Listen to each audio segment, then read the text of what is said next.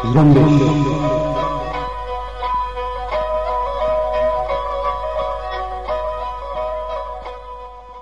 شمبے اٹھارہ جنوری اور سال دو ہزار بیس ہے۔ آپ سن رہے ہیں ریڈیو زرمبش اردو۔ میں ہمیرا بلوچ، آپ کی خدمت میں حاضر ہوں۔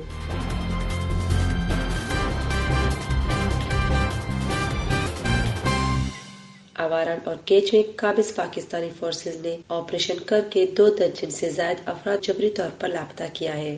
بلوچستان کے مختلف علاقوں سے قابض پاکستانی فورسز کے ہاتھوں جبری طور پر لاپتہ بارہ افراد بازیاب ہوئے ہیں۔ ایس آر اے بلوچ قوم پرست رہنما ڈاکٹر اللہ نظر بلوچ اور بلوچ نیشنل موومنٹ کے چیئرمین خلیل بلوچ نے سندھی قوم پرست رہنما سائی جی ایم سید کی ایک سو سولہویں یوم پیدائش پر انہیں خراج عقیدت پیش کی ہے، جس کی تفصیل خبروں میں شامل ہے۔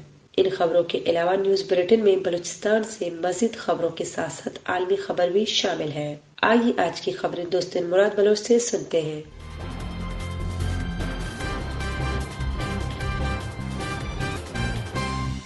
بلوچستان میں پاکستانی فورسز کی بربریت جاری ہے۔ ظلم و بربریت کا سلسلہ جاری رکھتے ہوئے پاکستانی فورسز اور خفیہ اداروں نے آواران اور کیچ کے مختلف علاقوں سے ستائیس افراد کو گرفتار کر کے جبری طور پر لاپتہ کر دیا ہے۔ اطلاعات کے مطابق آوارن کے علاقے گشکور گزی سے تین افراد کو لاپتہ کیا گیا ہے۔ لاپتہ ہونے والوں کی شناخت فیض محمد، ولد بجار اللہ داد ولد فیض محمد اور سلیم، ولد محمد خان کے ناموں سے ہوئی ہے۔ آوران ہی کے علاقے مزار گوٹ کو معاشرے میں لے کر قابض پاکستانی فوج نے دو درجن کے قریب لوگوں کو حراست میں لے کر نامعلوم مقام پر منتقل کیا ہے۔ فوج کے ہاتھوں حراست بعد لاپتہ ہونے والوں کی شناخت جمال ولد خدا بخش، حاطر ولد محراب، گنج بخش ولد پیر محمد، منظور ولد ابراہیم، سعید ولد محمد بخش، محمد یار ولد ویدی، نیک سال ولد ویدی ویدی ولد بازید، شیرجان ولد محمد بخش، قادر بخش ولد گونگزار، عطا ولد نظر محمد، بشیر ولد نظر محمد، کمالان چار شمبے ولد مراد بخش، نور محمد ولد روستو، اللہ بخش ولد کریم داد، مصطفیٰ ولد بالاچ، نور بخش اور امید ولد نور بخش کے ناموں سے ہوئی ہے۔ دوسری طرف کیچ کے نواحی علاقے زامران نیوانوں سے قابض پاکستانی فورسز نے چار افراد کو گرفتار کرنے کے بعد نامعلوم مقام پر منتقل کر دیا ہے۔ جبری طور پر لاپتہ ہونے والوں کی شناخت علیم ولد عظیم عنایت اللہ، چاچا امین اور چاچا اسلم کے ناموں سے ہوئی ہے۔ بلوچستان کے مختلف علاقوں سے قابض پاکستانی فورسز کے ہاتھوں جبری طور پر لاپتہ مزید بارہ افراد بازیاب ہو کر اپنے گھروں کو پہنچ گئے ہیں۔ اطلاعات کے مطابق سترہ مارچ دو ہزار سترہ سے لاپتہ شاکر بلوچ ولد ارض محمد، ریش پیش پروم سے لاپتہ خانجان اور شاہدوست ولد عظیم سکن پروم بازیاب ہوئے ہیں۔ اسی طرح خاران سے چار مئی دو ہزار اٹھارہ کو جبری طور پر لاپتہ رحمت اللہ ولد شکاری اپنے گھر پہنچ گئے ہیں۔ تربت کے علاقے آبسر سے چھ مہینے سے لاپتہ چاکر ولد مراد جان، امین ولد حاطر اور سامی سے مسلم ولد عبد الرسول منظر عام پر آئے ہیں۔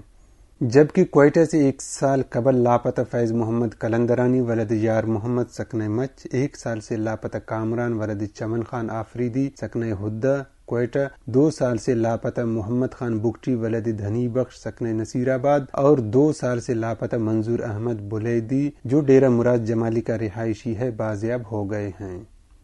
سندھو دیش ریولوشنری آرمی کے ترجمان سوڈو سندھی نے میڈیا میں جاری کردہ ایک بیان میں رہبر سندھ سائیں جی ایم سید کی ایک سو سولہویں سالگرہ کے موقع پر انہیں قومی اور انقلابی سلام پیش کرتے ہوئے کہا ہے کہ سائیں جی ایم سید سندھ کے ایک ایسے عظیم قومی رہبر اور مفکر تھے جنہوں نے جدید ترقی پسند لبرل، سیکولر اور ڈیموکریٹک بنیادوں پر جدید سندھی قوم پرستی کا نظریہ پیش کیا، جس نظریے کے تحت سندھ میں قومی حقوق اور قومی قومی آزادی کی جد و جہد چلانے کے لیے ایک متحرک قومی تحریک وجود میں آئی۔ اسی مناسبت سے بلوچ قوم پرست رہنما ڈاکٹر اللہ نظر بلوچ نے کہا ہے کہ جی ایم سید عالم اور با عمل رہبر تھے، ایک مدبر، دانشور اور تاریخ سے آشنا لیڈر کی حیثیت سے انہوں نے پاکستان کی حقیقت جان کر سندھو دیش کی آزادی کی تحریک کو نئی طاقت اور توانائی فراہم کی۔ اور سندھی قوم کو آزادی کے فکر و فلسفے سے روشناس کرایا اور ایک عالم و مدبر سیاستدان کی حیثیت، ان کی نظریہ اور تعلیمات سندھو دیش کی تحریک آزادی کو ایسی مضبوط بنیاد فراہم کر چکے ہیں کہ یہ غیر فطری دشمن اس عظیم تحریک کو کبھی بھی نہیں کچل سکے گا۔ جبکہ بلوچ نیشنل موومنٹ کے چیئرمین چیئرمین خلیل بلوچ نے کہا ہے کہ جی ایم سید کے سندھو دیش کے تحریک آزادی کے لیے خدمات ناقابل فراموش ہیں، وہ جدید سندھی نیشنلزم کے بانی ہے۔ آج سندھی قوم ان کے فکر و فلسفے پر عمل پیرا ہو کر پاکستان کے خلاف برسر پیکار ہیں۔ خلیل بلوچ نے مزید کہا ہے کہ مشترکہ جد و جہد ہی میں بلوچ اور سندھیوں کا نجات ممکن ہے، کیونکہ ہمیں مشترکہ دشمن کا سامنا ہے۔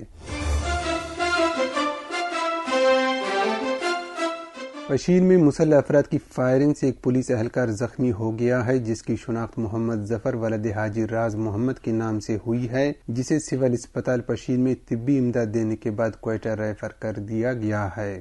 کوئٹہ کے علاقے ارباب گلی سریاب روڈ پر گیس لیکیج کے باعث دھماکہ ہوا ہے، جس کے نتیجے میں ایک عورت اپنی بیٹی سمیت زخمی ہو گئی ہے۔ ایک اور واقعہ توغی روڈ کیکا آباد کے علاقے میں پیش آیا ہے، جہاں گیس لیکیج کے باعث دھماکے میں ایک شخص زخمی ہو گیا ہے۔ تمپ کورجو کے مقام پر دو گاڑیوں میں تصادم ہوا ہے، جس میں ایک خاتون سمیت دو افراد ہلاک، جبکہ ایک خاتون سمیت تین افراد زخمی ہوئے ہیں۔ کوئٹہ سے منتخب حکومتی اور اپوزیشن کے کٹ پتلی اراکین صوبائی اسمبلی نے سوئی صدرن گیس حکام کو اڑتالیس گھنٹے کا الٹیمیٹم دیتے ہوئے کہا ہے کہ اگر اتوار تک گیس پریشر بحال نہ کیا گیا تو ان کے دفتر کے سامنے غیر معینہ مدت تک دھرنا دیں گے۔ انہوں نے کہا ہے کہ گیس کی فراہمی ہمارا آئینی حق ہے، نہ دیا گیا تو زبردستی لیں گے۔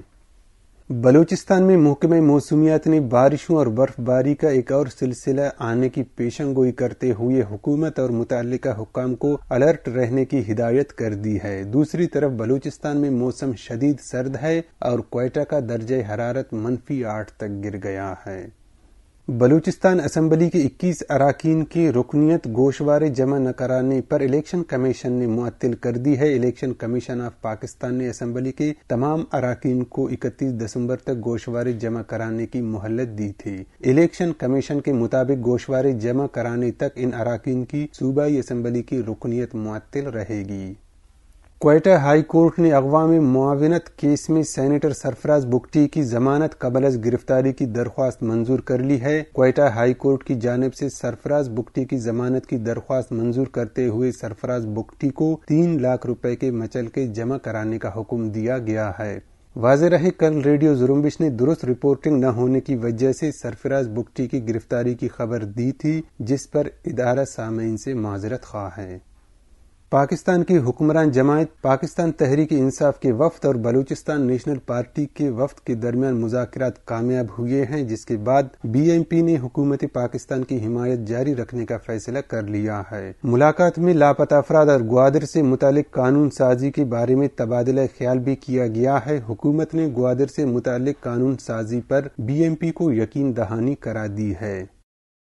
جمعیت علماء اسلام کے سربراہ مولانا فضل الرحمان نے حزب اختلاف کی جماعتوں کے حالیہ کردار پر مایوسی کا اظہار کرتے ہوئے کہا ہے کہ دو بڑی اپوزیشن جماعتیں حکومت کا حصہ لگ رہی ہیں۔ ان کا کہنا تھا کہ توقع تھی کہ پیپلز پارٹی اور مسلم لیگ نواز ملک و قوم کو بحرانوں سے نکال لیں گی، مگر دونوں نے قوم کو مایوس کیا ہے اور ان کا آپسی انتشار حکومت کے استحکام کا سبب بن رہا ہے۔ پاکستان میں راول پنڈی انسدادی دہشت گردی کی خصوصی عدالت نے دہشت گردی کا الزام ثابت ہونے پر علامہ خادم رضوی کے بھائی اور بھتیجے سمیت تحریک لبیک پاکستان کے چھیاسی کارکنوں کو مجموعی طور پر چار ہزار تین سو اڑتیس سال قید کی سزا سنا دی ہے۔ راول پنڈی کی انسدادی دہشت گردی کی عدالت کے جج شوکت کمال ڈار کی طرف سے فیصلہ سنائے جانے پر پولیس نے تمام مجرموں کو حراست میں لے کر پولیس اور ایلیٹ فورس کے کڑے پہرے میں اٹک جیل منتقل کر دیا ہے۔ افغان طالبان نے امریکہ کو افغانستان میں سات سے دس روز کی عارضی سیز فائر کی پیشکش کر دی ہے۔ امریکی خبر رساں ادارے ایسوسی پریس کے مطابق مذاکرہ سے باخبر افغان طالبان کے عہدیدار نے بتایا ہے کہ طالبان کی جانب سے سیز فائر کی پیشکش کے دستاویز قطر میں افغان امن عمل میں امریکہ کے نمائندے ظلم خلیلزاد کے حوالے کی گئی ہے۔